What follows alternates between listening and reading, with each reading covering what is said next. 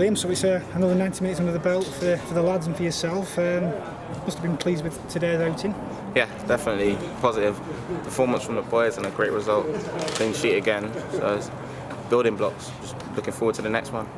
Yeah, I mean, as a defender, obviously clean sheet's great for you, but you've also got on the sc score sheet today. Is that something of the, the game that you really enjoy?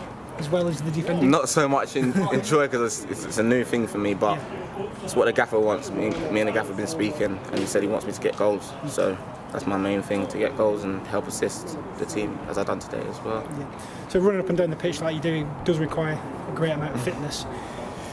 How's the fitness going? Uh, the gaffer, I know he, he, puts in a lot of emphasis on training and fitness, and that's what you, you know, been doing double sessions and stuff like that. Mm-hmm. I guess it's hard. The, that hard work will ultimately pay off when you come you know, on a Saturday, 90 minutes. Yeah, I'm not going to deny it, it has been tough. It has been tough, but there's only a reward at the end of it, and I'm just looking forward to that. We've got to keep working hard as a team and individuals just so that we can all get over the finishing line together.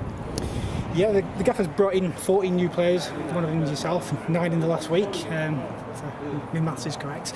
But I guess it does require a bit of gelling, um, you know, with all the new players in. What's the kind of spirit like in the dressing room?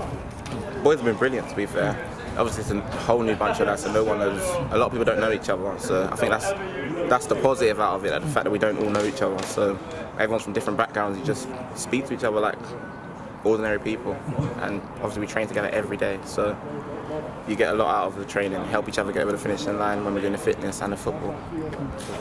Yeah, so another 90 minutes under the belt, um, getting ever close to the start of the season. It must be coming really quickly for I bet you, I guess all the lads and yourself are really looking forward to that. Yeah, definitely. It's been a long time since we played league football for some, so just can't wait for it to get started. But for now, we've got to focus on pre-season and we've got to prepare for the season properly instead of rushing into it and we're not ready.